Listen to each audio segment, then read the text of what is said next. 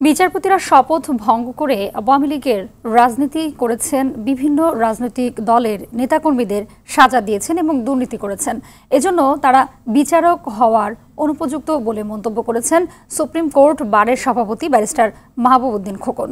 Supreme court প্রাঙ্গণে সাংবাদিকদের সঙ্গে আলাপকালে তিনি এক সপ্তাহের মধ্যে দুর্নীতিগ্রস্ত বিচারপতিদের পদত্যাগের আহ্বান জানান। বলেন, অতি উৎসাহী হয়ে বিচার ব্যবস্থাকে দূষিত করেছেন তারা।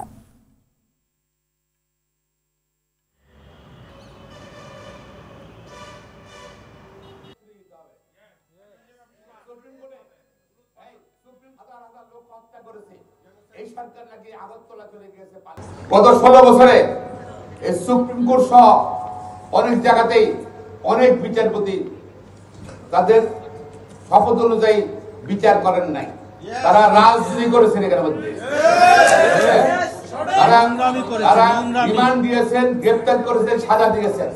সে অতি উৎসাহী সুপ্রিম বিচার তার শপথ ভঙ্গ করেছেন। যারা এইসব কোর্টে বলে রাজনীতি করেছেন দুর্নীতি করেছেন আগামী এক সপ্তাহের মধ্যে তাদের অনুরোধ করব পদত্যাগ করার জন্য।